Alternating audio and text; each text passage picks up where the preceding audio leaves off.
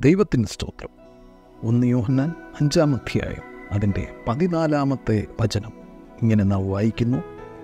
അവന്റെ ഇഷ്ടപ്രകാരം നാം എന്തെങ്കിലും അപേക്ഷിച്ചാൽ അവൻ നമ്മുടെ അപേക്ഷ കേൾക്കുന്നു എന്നുള്ളത് നമുക്ക് അവനോടുള്ള ധൈര്യം ആകും.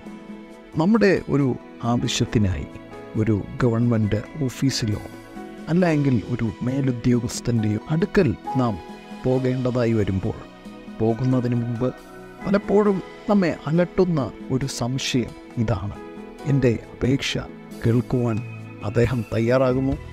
എന്റെ അപേക്ഷ അദ്ദേഹം നടത്തിത്തരുമോ തുടങ്ങിയ വ്യാകുലതകൾ നമ്മുടെ ഉള്ളിൽ വരാറുണ്ട്.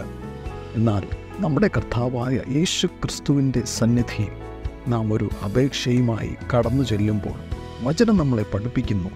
ദൈവത്തിന്റെ ഇഷ്ടപ്രകാരമുള്ള ഒരു അപേക്ഷയാണ് നാം ദൈവസന്നിധിയിൽ അറിയിക്കുന്നത് എങ്കിൽ തീർച്ചയായും അവൻ നമ്മുടെ അപേക്ഷ കേൾക്കുന്ന ഈ ഭൂമിയിൽ അധൈര്യപ്പെടുത്തുന്ന പല സംഗതികളും ഉള്ളപ്പോൾ തന്നെ ദൈവമക്കളായ യേശുവിന്റെ കുഞ്ഞുങ്ങളായ നമുക്ക് ഉള്ള ധൈര്യം ഈ ലോകത്തിൽ ആരും നമ്മുടെ അപേക്ഷ കേട്ടില്ല എങ്കിലും നമ്മുടെ അപേക്ഷ കേൾക്കുക മാത്രമല്ല ആ അപേക്ഷയ്ക്ക് ഉത്തരം തരുന്ന ആ പ്രാർത്ഥനയ്ക്ക് മറുപടി തരുന്ന ഒരു ദൈവത്തെ അത്രേ നാം ആരാധിക്കുന്നത്.